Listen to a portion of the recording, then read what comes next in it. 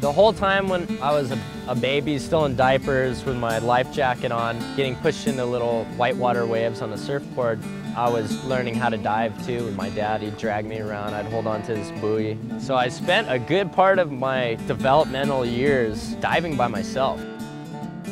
I got to develop my approach completely on my observations and I didn't have a lot of outside influence. Just watching fish, spending basically years of my life with a mask on watching animals interact with each other and how they interact with me and how they view me and the mental challenge of being able to hold your breath, uh, the physical challenge of expanding your lungs and having your body more efficiently use oxygen and also add in the fact that you're hunting at the same time.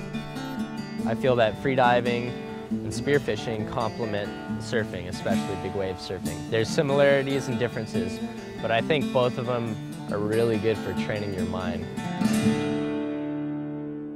The coolest experience I've ever had diving was the first time I touched a, a great white shark and got on its dorsal fin and it actually swam around with me on it. Was, that was like this like blindingly surreal experience I never thought I'd have.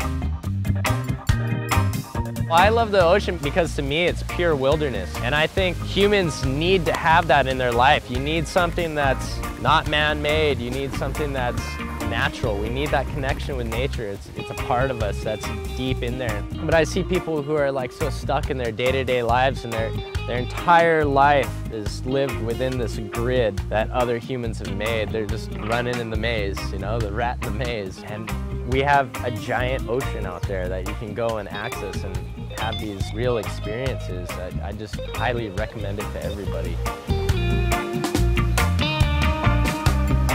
Obviously, if the oceans go, we go. It's by far the largest part of our planet. Native cultures that had sustainable plans for harvesting and, and maintaining and being custodians of the ocean. And we have to seriously look at that and use some self-control. There's a lot of things on this planet that are worth more than money. The ocean's one of them.